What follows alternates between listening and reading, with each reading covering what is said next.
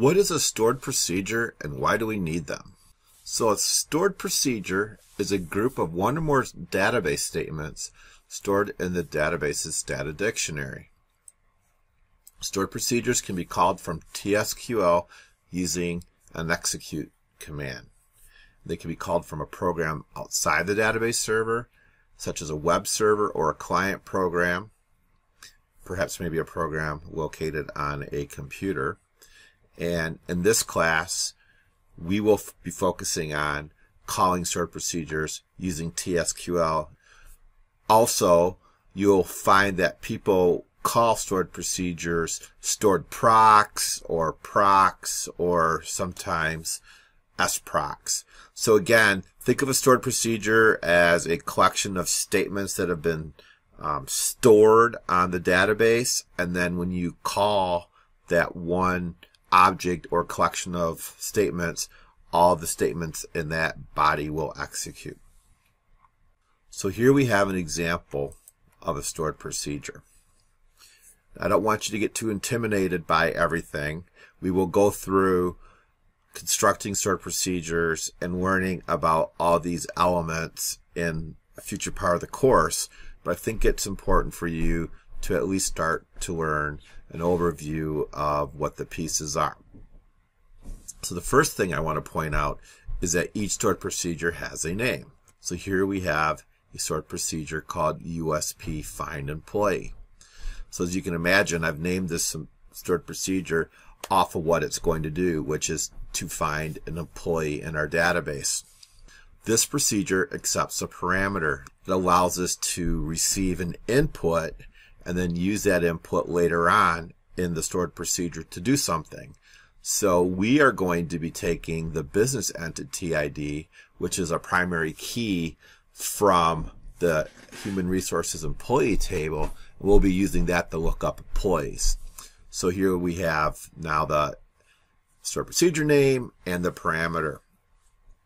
The items in green here are the items that get executed by the stored procedure. So we have a couple of statements that are being run. Set no count on tells the database to not report how many rows are brought back in the query. It's for efficiency purposes. And then we actually have the meat of our stored procedure, which is the select statement. And hopefully this is very familiar to you. It's a select statement that's going into our human resources employee table and selecting a business entity ID where the business entity ID is equal to this value here, which happens to be the parameter that was passed in. And again, we will talk about the mechanics of parameters later on, but just for now, assume that if a, a value of 50 was brought into this parameter, that we would be running a select statement where business entity ID equals 50. When this select statement runs, then a result set is returned. So whatever calls this stored procedure, we'll get back a result set of rows of what was found from the select. So in this case, it'll be a single row of this employee with their entity ID, their ID number, login, job title, and hire date.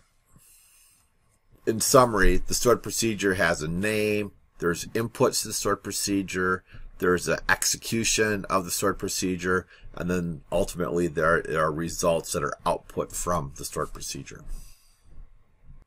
Why do we need stored procedures? One reason is for maintainability. Stored procedures provide one location to keep tricky code. So instead of having to replicate a series of program steps or database code in several locations within your database, you can put them in one place within the stored procedure and then just call that code from one location, which encourages modular programming.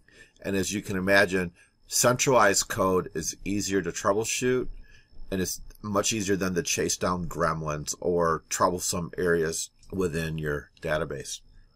Another reason to use stored procedures is to encapsulate business logic.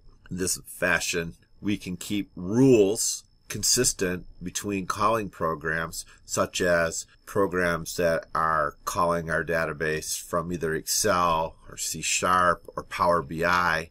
They can call a stored procedure and get the same consistent results as opposed to using um, a query that they may have constructed on their own.